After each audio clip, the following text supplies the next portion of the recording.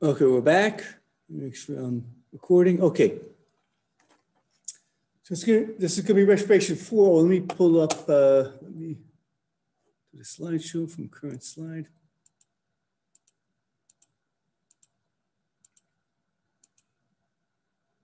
Okay, so it's going to be a really short one because we're almost finished. Um, blood gases and respiratory rhythm. It's important to realize that respiratory rhythm, how often you're breathing, is dependent upon uh, hydrogen ions. pH drives how uh, often you breathe, not oxygen. Uh, and that's and and so the, so the carbon dioxide concentration of your blood has much greater uh, control over how often you breathe than oxygen because it's linked to hydrogen ions in the ubiquitous equation. Oxygen has almost nothing to do with it. Uh, occasionally, under pathological situations, uh, oxygen will have something to do with it. And with people with emphysema, I believe. Um, or if somehow the oxygen gets really low in your, in your blood, if you, if you uh, this will be, we'll talk about this in the uh, group activity. If somehow, like underwater, if you stay underwater a long time and your blood oxygen gets really low, then oxygen will drive your breathing. That's called hypoxic drive, but it has to get down to like, so like 60 millimeters of mercury or less before oxygen really has an effect on your breathing. It's, it's almost all always carbon dioxide. Um, okay, respiration exercise, hyperpnea deeper breathing.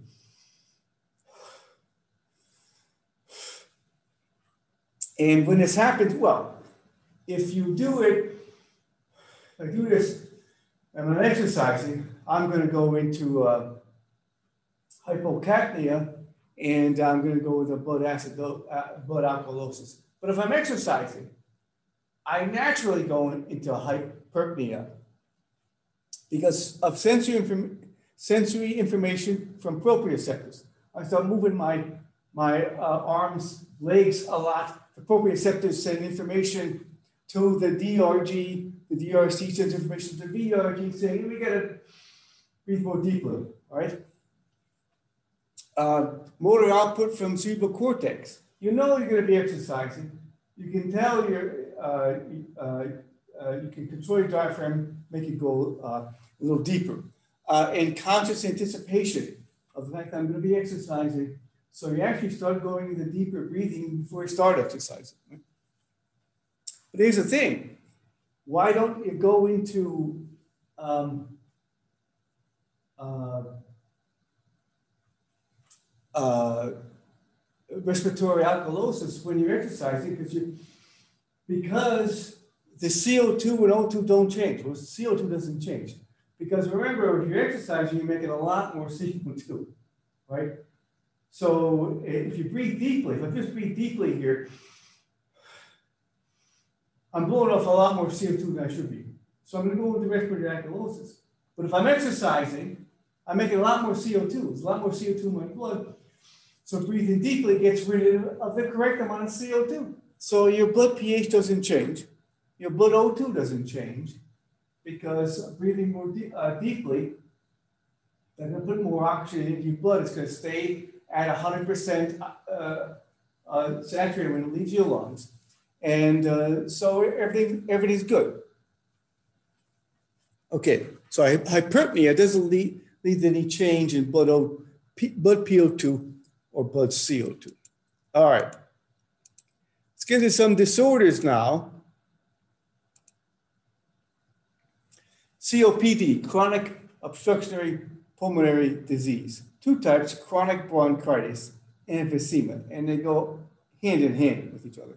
Chronic bronchitis is irritation of the bronchi uh, through anything. It could be uh, uh, it could be an allergic response, or it could be from cigarette smoking. And emphysema is the um, the breaking down of alveoli they break down into, into much fewer alveoli, much larger alveoli. So surface area goes down, right? And we know that's one of the things that affect affects the rate of diffusion and how much CO2 and O2 can pass across that respiratory membrane. So people with emphysema have real trouble getting rid of enough CO2 uh, and getting enough oxygen. And they often go get have polycythemia, really high red blood cell level, level because they go with hypoxia because they're, they're not getting enough oxygen to, into the blood.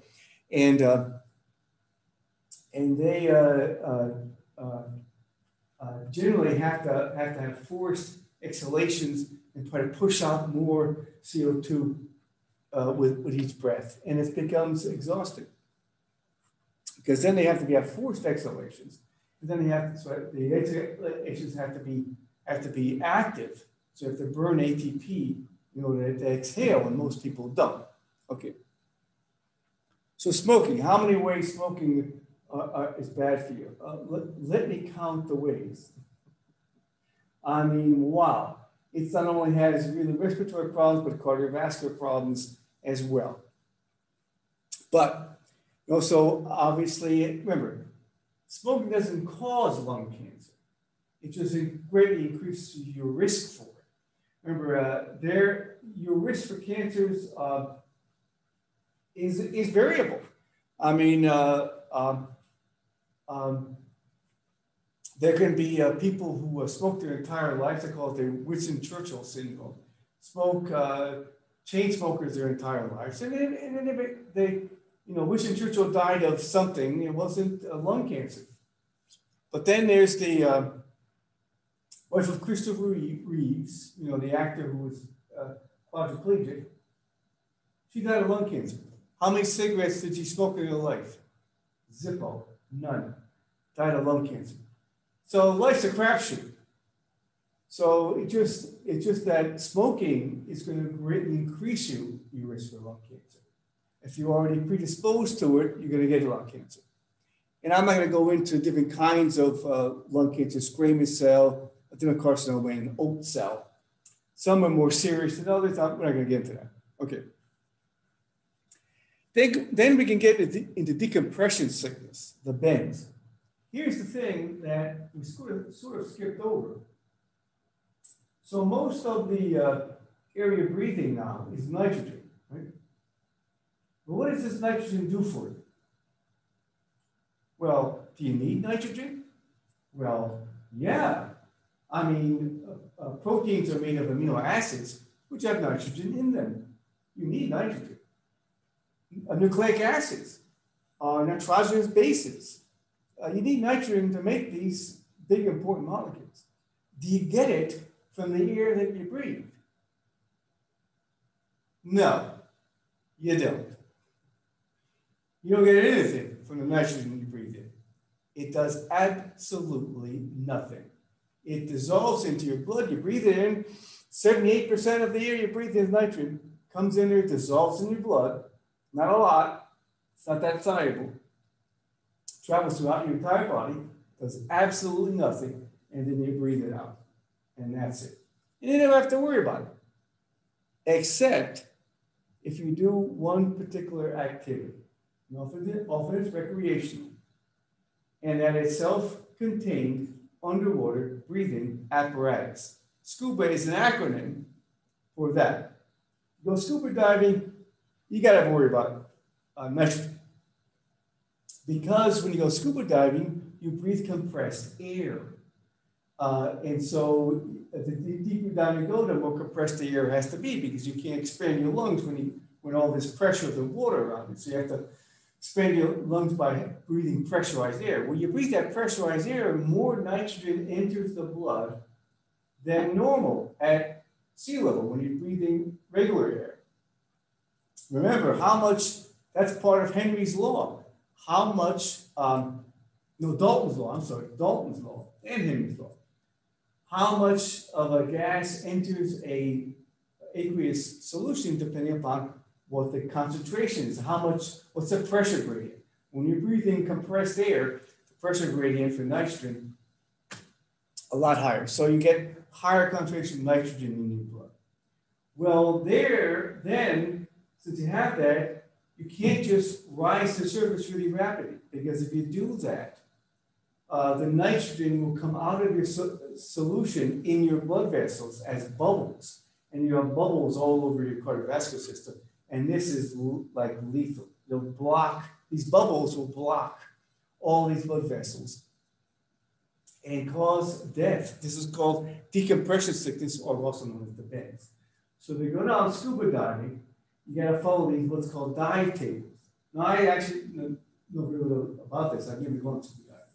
But now you gotta follow these dive tables, how you slowly have to ascend so that you blow off this, this nitrogen, this extra nitrogen that's in your blood. So when you get to the surface, you have the normal amount of nitrogen in your blood and you don't form these nitrogen bubbles. Um, so that's uh, uh, important. Um, but there is uh, something I didn't mention here. There, there are people that, that are so-called free divers. Uh, I think this is kind of crazy, but it's a competition as people do this.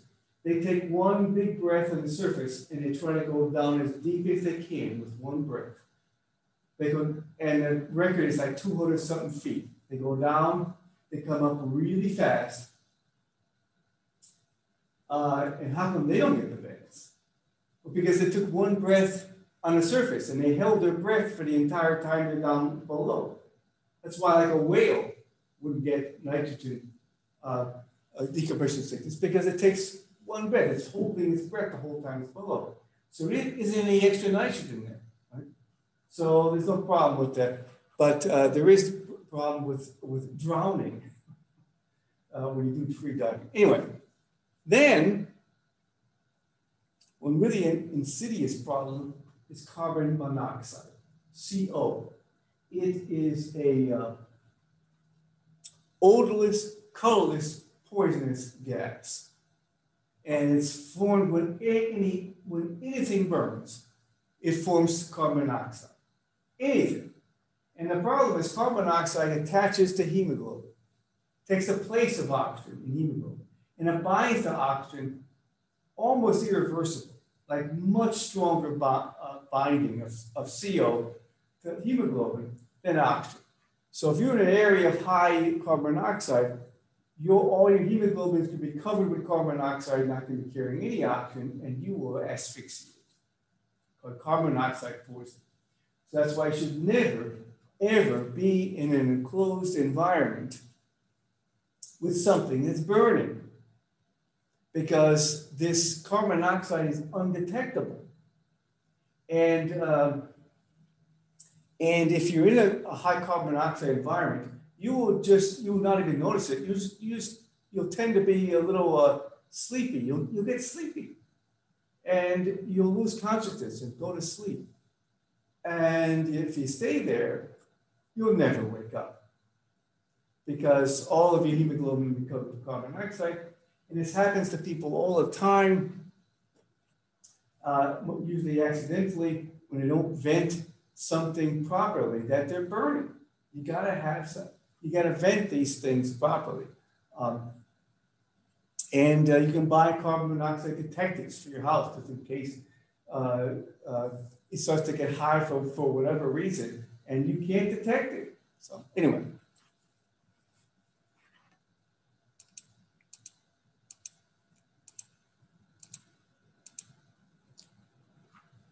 So hypoxia, I think this is the last slide. In uh, a, uh, a lowered ability of your body to carry oxygen, hypoxia a hypoxemic hypoxia is inadequate pulmonary gas exchange. And this is, this could be a real natural process. If you, if you go mountain climbing, you go with hypoxia, hypoxemic hypoxia, because the, the, the partial pressure of oxygen is much lower at, on top of a, uh, of a mountain. And um, so the partial pressure of oxygen in your alveoli is lower, and you're not getting enough oxygen. So that's when you ha have to uh, release, remember, release EPO from the kidneys, goes to the bone marrow, increases erythropoiesis, and you can adapt to altitude. Ischemic hypoxia is inadequate blood circulation. Somehow, this blood vessel is blocked, maybe by plaque or whatever. Uh, something's blocking a, a, an embolism or something, and the, the, the, tissue is not being adequately perfused. This is ischemic hypoxic and can lead to the death of that tissue. Anemic hypoxia due to anemia. And there's a, there's a bunch of different kinds of anemia. One is um, a couple types of uh, nutritional anemia. You don't get enough iron, you can't, you can't make uh, hemoglobin without the, without the iron. You don't get enough vitamin B12. It's called pernicious anemia. Uh, you won't be able to uh, make as much uh, hemoglobin as you need to. So you go, go into anemic hypoxia. Then there's histotoxic hypoxia. This is just, uh, I think it's only one thing. This is a metabolic poison preventing the use of oxygen. And I think the only one, I think, is called, uh, it's called hydrogen cyanide.